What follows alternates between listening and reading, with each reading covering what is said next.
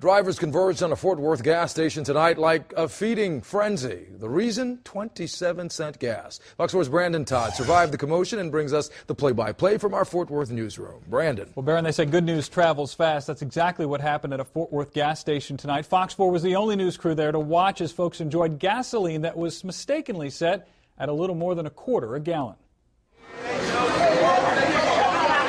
I said, uh-uh, I can't believe this. Three and a half gallons are one dollar. More than pennies from heaven. I love it. Like sharks on a tuna, folks with empty gas tanks descended on this Raceway gas station. I just know that we just got busy all of a sudden. Word spread quickly that premium gas here was 27 cents a gallon. Yeehaw! I had a quarter of a tank and I got 16.11 gallons of gas. For four dollars and fifty cents. Four dollars and fifty cents. How many? How much we get? We got 42 gallons.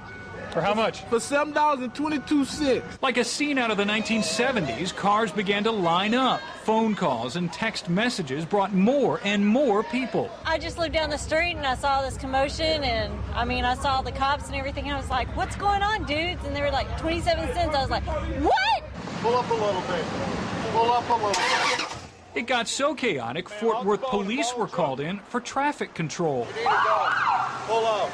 No, you're not pulling in. You cut in front of all these people. They've been getting us for the longest. It's about time. G. Smith couldn't drive in, so he brought as many portable tanks as he could find. It's still gas. What is Whether it's going in a can or a car. It wasn't long before management caught on. All the pumps are fixed to be shut off, okay? Uh, manager here, he was working. I guess he had made a mistake or something. But I guess they lost a lot of money today. How much do you think they lost? A lot. I don't know. Those who hit the jackpot told us with prices as high as they've been this summer, this was sweet payback. They've been doing this, what, about six months? They've jacked the gas prices up like that. So this is where it should be. Exactly. All night long.